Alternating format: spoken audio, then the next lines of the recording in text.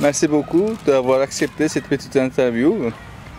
Donc, euh, vous avez commencé à écrire quand? Vous êtes poète, vous êtes écrivain, vous écrivez des nouvelles, des poésies, les essais. Donc on commence par Serpil, après on continue par Sylvie. Oui. J'ai commencé à écrire des petits poèmes pendant ma thèse de doctorat pour changer mes idées, changer du domaine de travail en 2005. Le premier poème, ça a été sur euh, Geneviève Clancy. J'ai commencé comme ça, j'ai continué après. Je suis publié à l'Armatan, collection Poète de cinq continents déjà. Et je fais partie du collectif et fraction des poètes aux cinq continents de l'Armatan. Avec plaisir. Ça, j'aimerais bien y ajouter quelque chose. Donc, Serpilekine, euh, Serpilekine, les deux prénoms. Et quand elle a été naturalisée française, elle a choisi elle-même en disant, en principe, les enfants ne peuvent pas choisir leur prénom. Moi, je choisis, donc elle est devenue Serpilekine Adeline. Donc, euh, elle a, euh, comme elle, vient de dire, elle a commencé, bon, en tant que sa maman, comme on travaille toutes les deux ensemble, maintenant, on est collaboratrices et donc euh, mère-fille en même temps. Donc j'aimerais bien compléter. Elle a commencé, comme elle avait dit, par écrire par Geneviève Clancy et elle a traduit Philippe Tancelin, la poésie de Philippe Tancelin. Et donc elle a publié dans la collection Atatürki et en Turquie c'était Papyrus qui a publié en turc. Donc voilà. Et après elle a écrit, elle s'est fait publier chez l'Armatan la collection témoignages poétiques. Poète de un continent. Mhm. Et vous?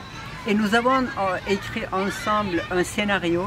C'était pour nous, c'était pour la première fois euh, une première épreuve. On n'avait jamais écrit scénario. On a voulu écrire. C'était une sorte d'autofiction de Serpilekin. Et donc une étudiante qui fait ses études et après qui veut faire du cinéma. Donc ça, on ne va pas en dire davantage. Ces scénarios, on a écrit ensemble avec les, les, scénaristes et les, hommes de cinéma qui nous ont guidés. Nous avons deux amis grecs, euh, l'une qui était montage et l'autre qui avait fait son doctorat sur le cinéma. Euh, Hiro, donc on a travaillé toutes les quatre pendant deux ans et après nous avons mis encore deux ans pour aboutir et nous avons fini en quatre ans le scénario qui a été publié euh, chez l'Armatan. Et voilà. Dans notre collection. Maintenant, si c'est à moi que vous vous demandez, donc moi, quand est-ce que j'ai commencé? Bon, mais ça fait très très longtemps quand j'ai commencé. D'abord, je suis, j'ai travaillé en Turquie et par euh, j'ai commencé par la traduction. J'ai pas mal traduit du français en turc, ça s'appelait version. Et donc, euh, par la traduction, c'était la nuit parce que pendant le jour je travaillais, j'étais un peu partout. Et la nuit, je traduisais, c'était pour moi, c'était une joie.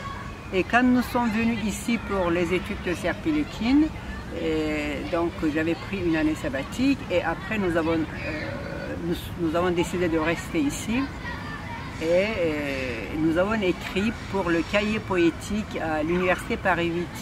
C'est Kim faisait son doctorat, moi je faisais mon master sur théâtre, j'avais déjà fait à Bordeaux une licence sur euh, lettres modernes et j'avais travaillé sur Camus. Donc pour moi c'était une joie de, de faire à Paris 8 encore de devenir étudiante. Et donc ça c'était très productif, on a écrit, on a joué, on a parlé. Par exemple, on a traduit Nazım Hikmet avec Serpilekin, Ferhat et Shirin que Philippe Tancelin euh, parlait de ses étudiants en mise en scène.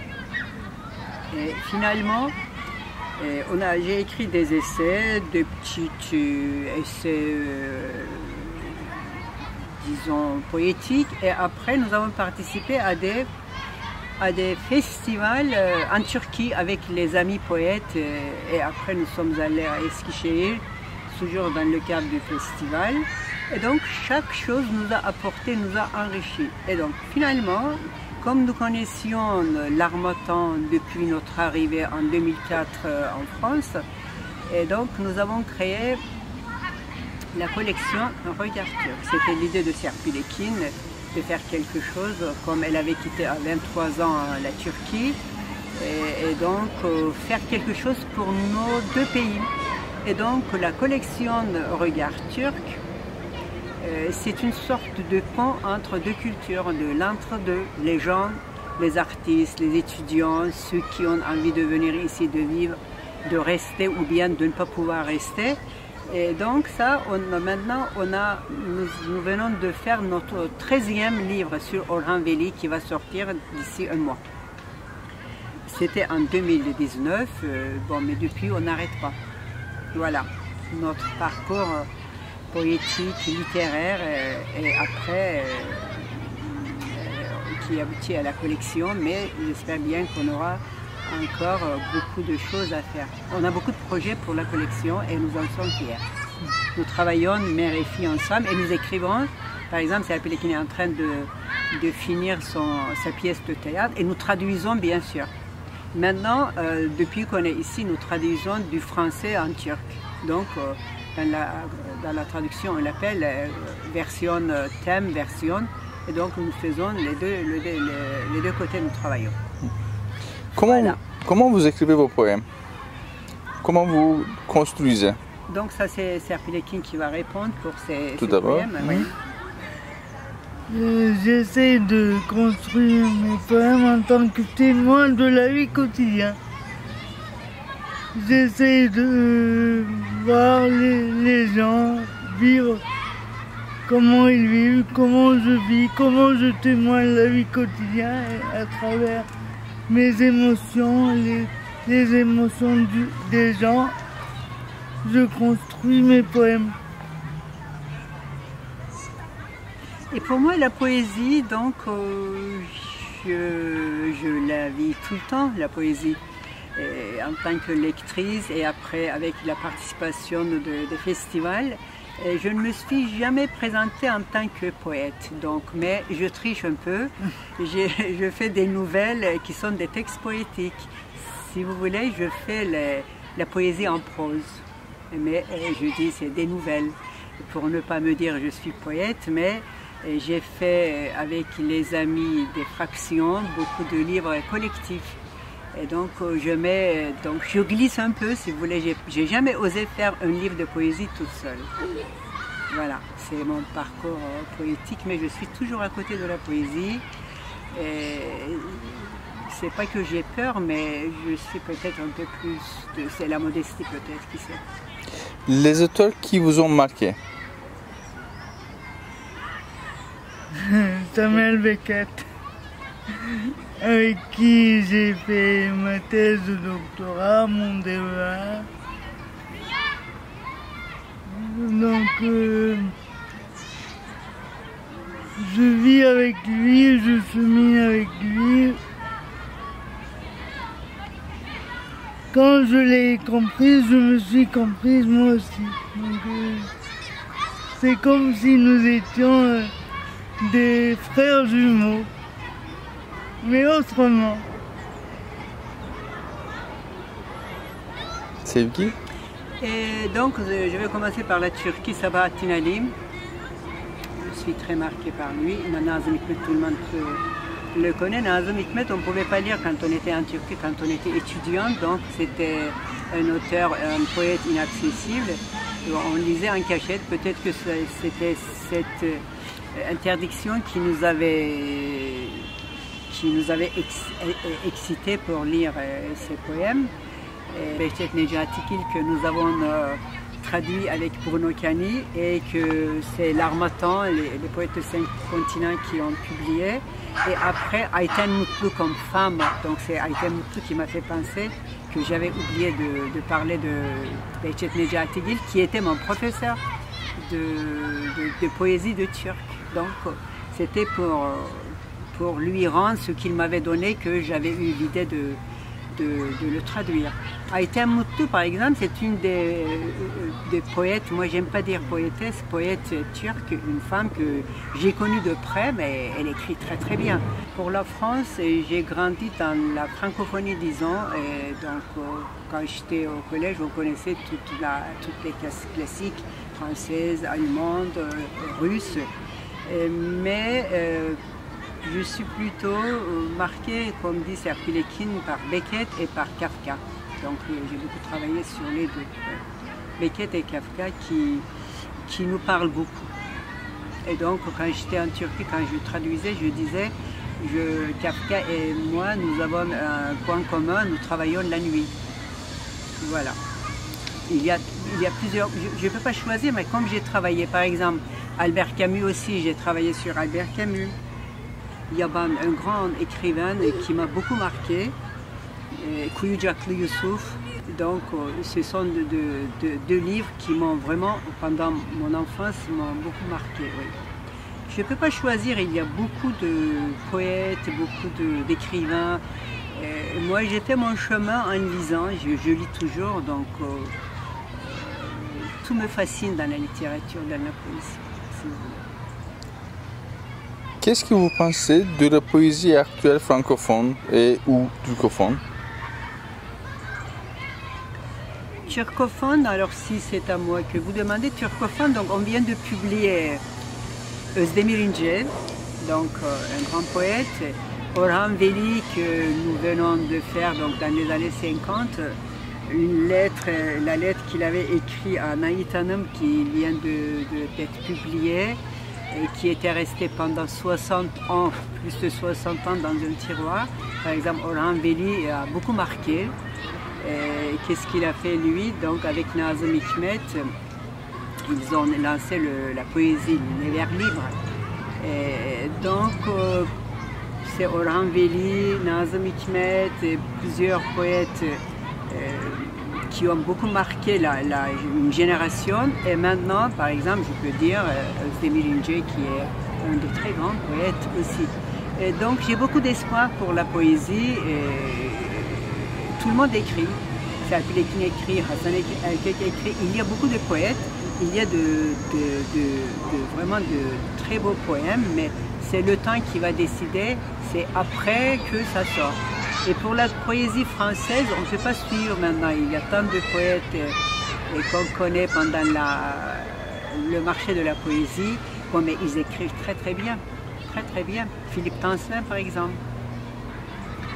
Réha, par exemple. Alors, c'est dans deux langues, n'est-ce pas? Réha Yunwer, pourquoi on ne va pas citer Réha Yunwer qu'on vient de connaître, qu'il écrit très bien. On aimerait bien euh, publier ses, poèmes aussi dans notre collection Regard Turc. Pourquoi pas un jour Prochainement. Les femmes dans la poésie. Partout, il y a beaucoup plus de femmes. Mais pour moi, quand il y a la qualité, il ne faut pas dire si ça vient de femmes ou des hommes. C'est la qualité qui compte. La qualité, la sincérité, simplicité et témoignage de la vie et témoignage du monde. Moi, je suis pas. Euh, je suis, j'ai jamais été féministe. Je n'aime pas distinguer les hommes et les femmes. Pour moi, c'est toute personne qui écrive, euh, voilà, c'est important, mais je crois que de, plus en plus, il y a beaucoup de, poètes femmes euh, qui écrivent. Dans la littérature, il y en a beaucoup en Turquie. Surtout en Turquie, il y en a beaucoup, en France aussi. La traduction.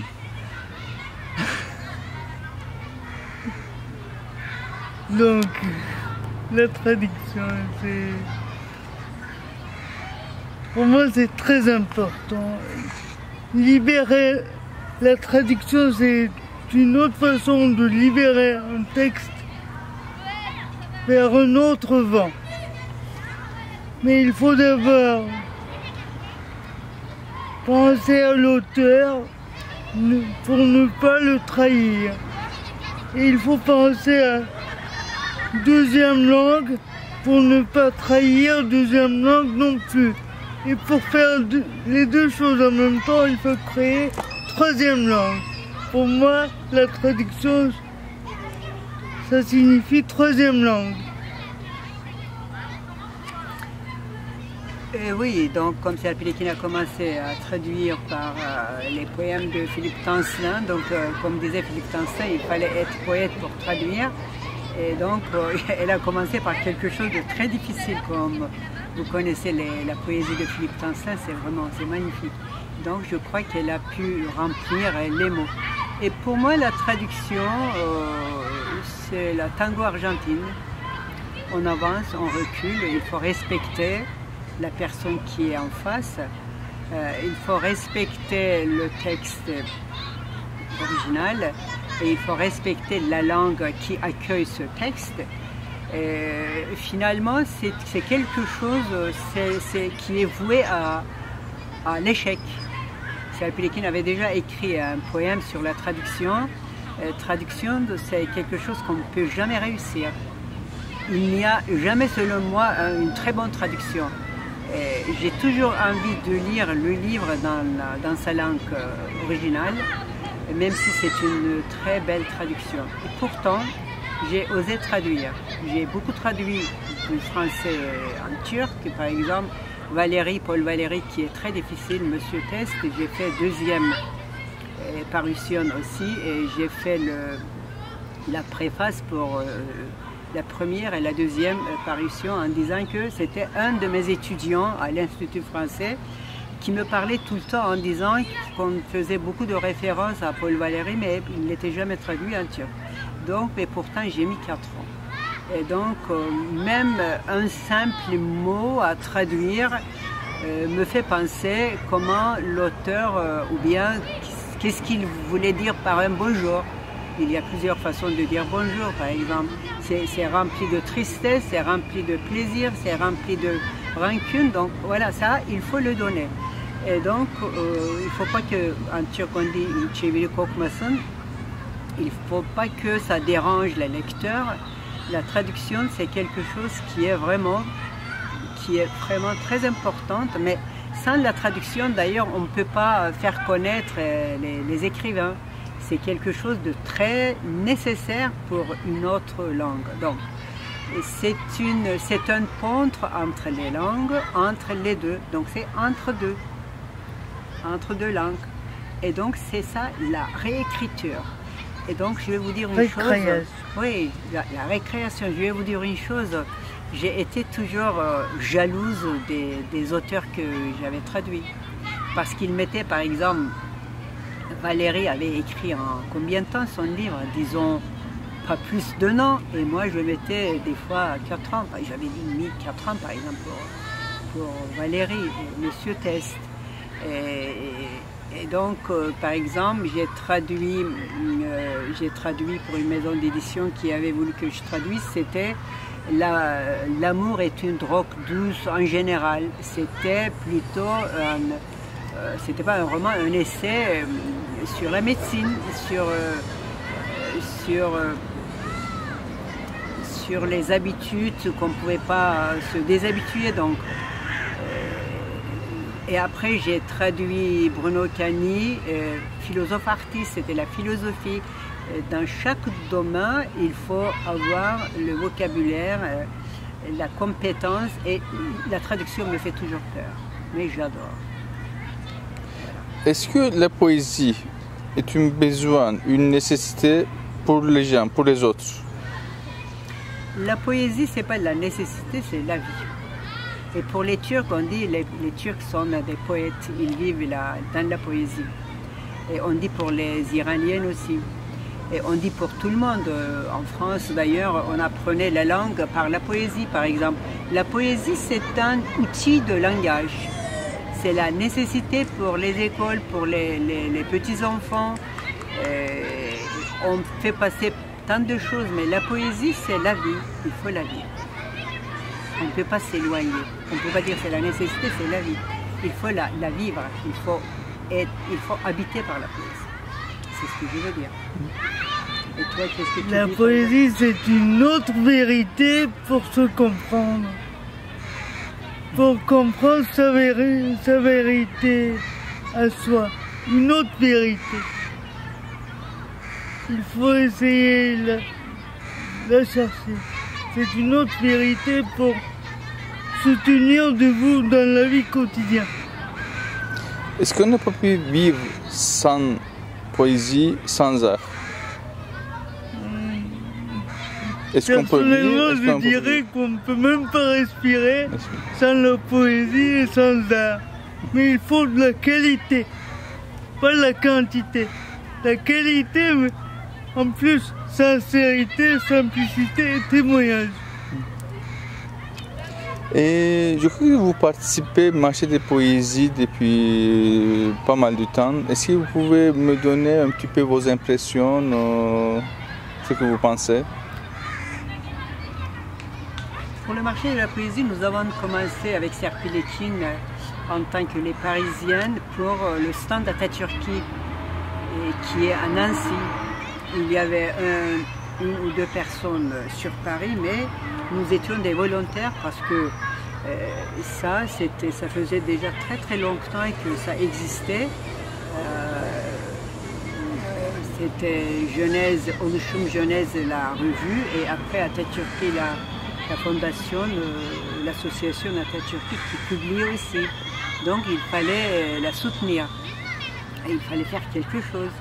Donc euh, nous sommes restés pendant quatre jours sur le stand. Une amie, Gul Ilbay, qui était venue de Metz, qui nous a soutenus, qui venait de temps en temps, disons, avec Serpilekine, ça fait déjà depuis 2000, euh, 2012. Mais nous avons commencé avec Philippe Tancelin à aller à l'Armatan. Depuis que nous sommes ici, depuis 2004, nous sommes au marché de la poésie. Et le marché de la poésie, c'est le bonheur. Voir les gens qui sont là, même s'ils n'achètent pas. Voir tant de maisons d'édition qui pensent à donner le bonheur aux autres, À qui écrivent pour leur poésie. bonheur. Écrire, c'est le bonheur. Et après tant de personnes qui se promènent là-bas, souriant, en écoutant, les- des fois il y a des poèmes, des chansons, il y a des choses très intéressantes qui, surgissent. Le marché de la poésie, c'est le bonheur pour euh, les Parisiens et pour tout le monde. Il y en a beaucoup qui viennent de l'intérieur et de l'extérieur aussi. Merci beaucoup.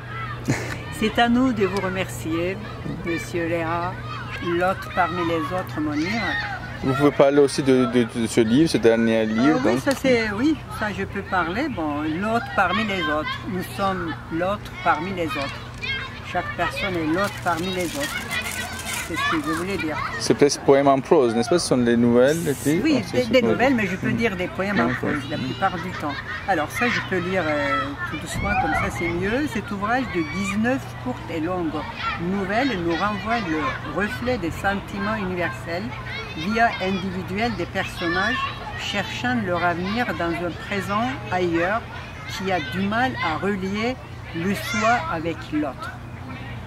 Dans les élans vers le bonheur surgit de ces nouvelles ceux et celles qui s'efforcent de dévoiler leur existence au bout du voyage du grand chemin de l'entre-deux tiennent à franchir la ligne de démarcation entre rives, langue et culture à la lumière de l'aube. Portées par la poésie et le silence, ces nouvelles se remplissent à leur tour par le monologue intérieur ou le dialogue impossible. On lira une à une Céline et comme autant d'autres nouvelles d'intramonde dont les paraboles nous ramènent à une authentique expérience sensible d'un vivre autrement avec nous-mêmes parmi les autres. Le dernier paragraphe appartient à Philippe Tancelin qui a fait la préface de ce livre. Et donc, je vais lire une petite partie.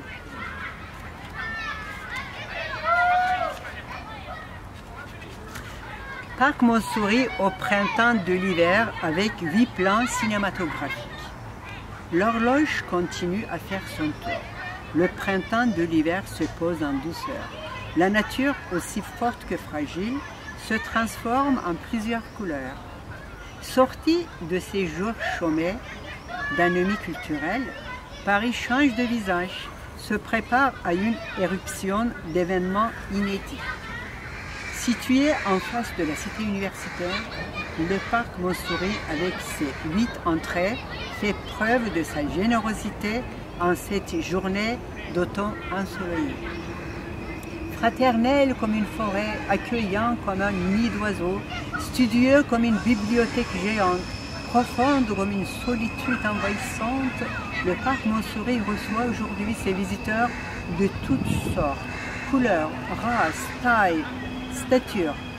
Il les voit flâner, rêvasser, bouquiner ou courir au rythme de la musique qu'ils entendent sur leur écouteur.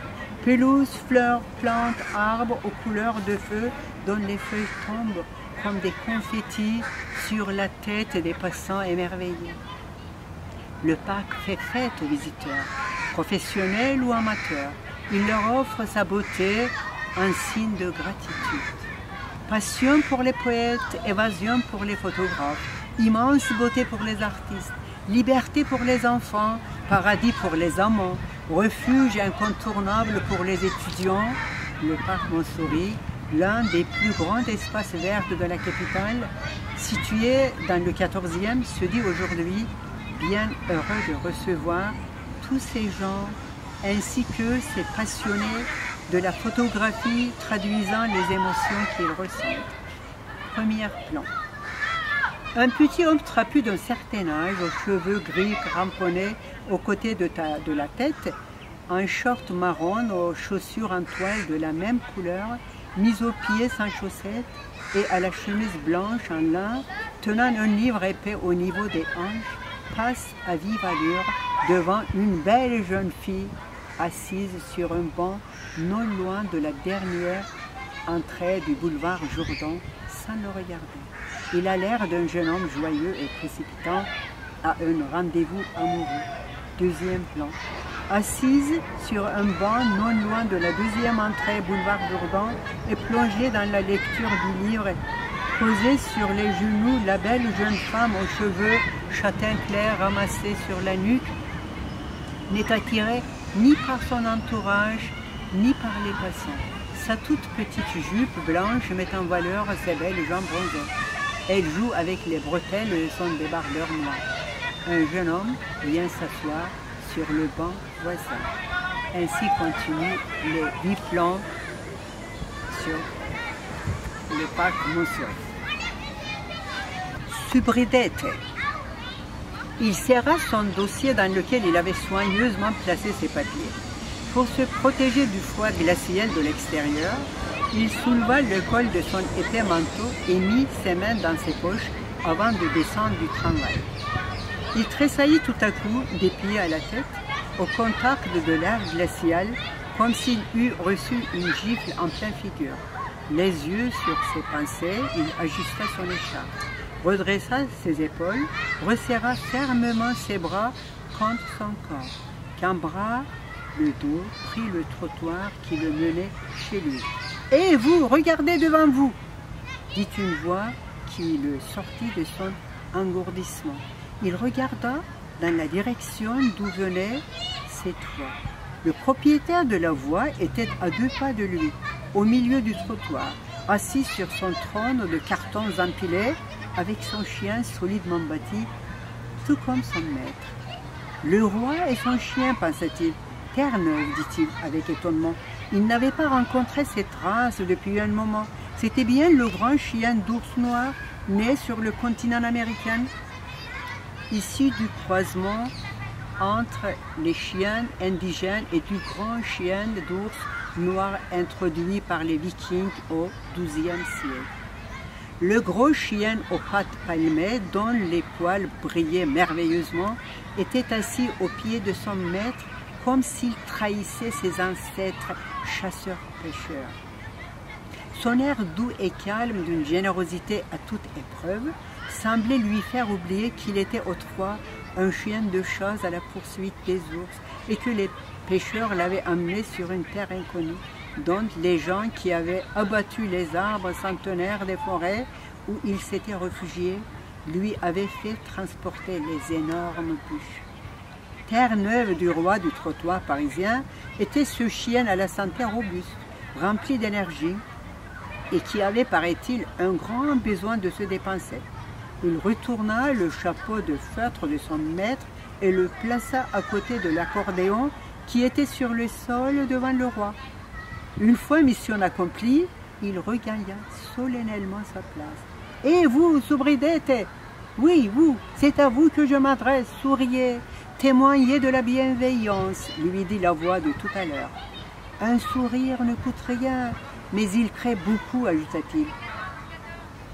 Le roi, qui devait avoir son âge, lui sourit et prit son accordéon. C'est pour toi, de Fredo Gardoni. Amusez-vous, dit-il en chantant de sa belle voix. Amusez-vous, la vie passera comme un rêve. Amusez-vous, prenez la vie par le bon goût. Amusez-vous, la vie est si courte après tout.